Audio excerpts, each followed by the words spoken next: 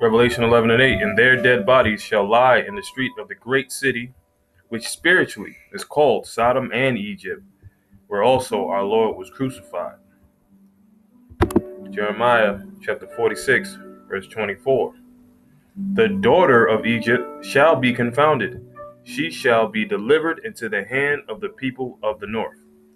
Call Haloyim La Yahweh Bashim Yahshai Bashem Rakak Radash. Double honor to the head elders, the apostles, the great millstone, and bishops. All right, shalom to you, Akim, throughout the world. Yeah, man, just wanted to speak about, you know, the the similarities, man, that the scriptures speak about how this is all right, uh, the daughter of Egypt, and this, which is the spiritual Egypt. You see before you, all right, a depiction.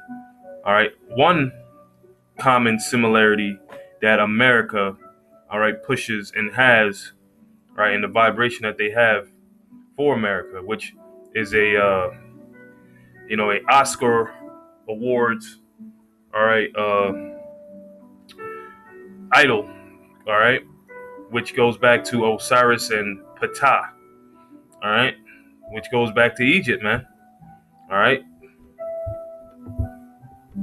So let's read up on this Ptah character. Okay, because this is surely an Egyptian goes back to an Egyptian uh, so-called uh, god. All right, Ptah, also spelled P-H-T-H, whatever is an Egyptian in Egyptian Egyptian religion, creator, god, and maker of things, a patron of craftsmen, especially sculptors. His high priest was called chief controller of craftsmen. The Greeks identified Ptah with Heph- Hephaestus, Vulcan, the divine blacksmith. Okay, so look at that, man. Okay, Ptah, man. All right, that's the uh, Oscar award idol. All right, and we know in Hollywood, all right, the uh, different uh, uh, uh, rituals and spiritual wickedness that they do to forward, all right, this uh, you know, this vibration, man. See, Egyptian god Ta, Ptah, however you pronounce this bullshit. All right, all right, it's giving me some trouble, but got it. Ptah, Egyptian god of architects and craftsmen. Ptah was an important deity in ancient Egypt credited with creating the world. what kind of blasphemy is this? Yeah, see, this is all blasphemy. Man. Let's go back to the scripture, man. All right, but this is what they uh this is what they forward here in America, and they give these uh awards to what? To a bunch of damn uh, uh lesser luminaries. All right, who forward the uh the, the wicked agenda of Esau Edom, the so-called white man. All right. Once again, their dead bodies, all right, dealing with you Israelites, you so-called blacks, Latinos, Native Americans, shall lie in the street of the dead uh, of the great city. Which your dead bodies meaning spiritually, man. You calling yourself black, you calling yourself Hispanic or Latino or Indian.